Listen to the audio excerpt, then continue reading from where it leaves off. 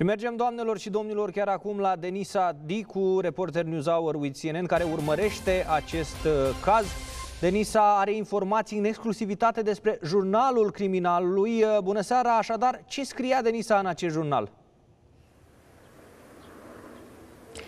Bine v-am găsit. Ies la iveală detalii șocante despre modul în care s-a petrecut uh, crima din uh, localitatea Bascov. Surse apropiate de familie au uh, precizat că în jurnalul în care criminalul și-ar fi notat numele victimelor, dar și modul în care le-a omorât, ar fi fost trecut chiar și numele cumnatului său. E bine, aparent acesta ar fi avut în plan să îl omoare chiar și pe el, însă, pe de altă parte, surse apropiate de anchetă spun că se infirmă această informație că de fapt uh, cumnatul nu ar fi fost uh, în plan să fie omorât de către criminal și că nu ar fi fost notat numele său pe uh, acel jurnal, acele înscrisuri. Cât despre teoria care spune că acesta, criminalul ar fi fost supărat pe nepoata sa că nu ar fi purtat acel lănțișor de aur, e bine, se infirmă, este improbabil, însă un detaliu cu tremurător, doamnelor și domnilor, este însă că acesta s-a jucat cu fetița, cu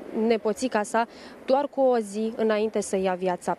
Acum ne aflăm la capela militară din Pitești, unde au fost depuse trupurile neînsuflețite ale surorii și uh, nepoatei criminalului. Îi vedem chiar acum în direct, doamnelor și domnilor, pe membrii uh, apropiați ai familiei, uh, chiar și pe cumnatul care a supraviețuit este cel care uh, are tricou negru și uh, ține în, în uh, brațe o sticlă cu apă.